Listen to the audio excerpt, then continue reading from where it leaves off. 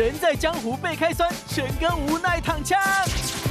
你以为你去就会上？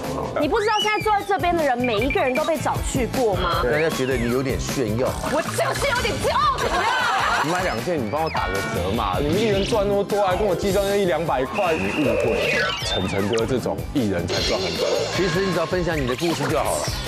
周一到周五每晚八点，请锁定二十六频道未来综合台。女王大人。